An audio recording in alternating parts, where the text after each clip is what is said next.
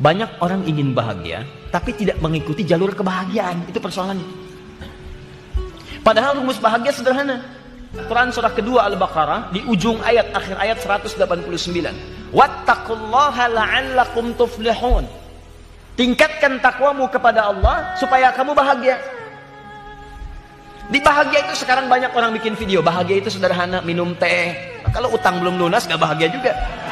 Barangkali minum teh pelampiasan karena utang belum dibayar. Bahagia itu sederhana, minum kopi karena ditolak lamaran. Macam-macam. Ya, jadi ukuran kebahagiaan kalau dilekatkan pada manusia itu nisbi relatif sifatnya.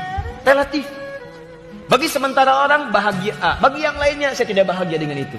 Tapi ketika Anda mengambil ukuran Allah, kata Allah, wattaqullah. Kalau Anda punya profesi apa pun, ingin bahagia dalam profesi Anda, wattaqullaha la'allakum tuflihun. Anda tingkatkan takwa, saya berikan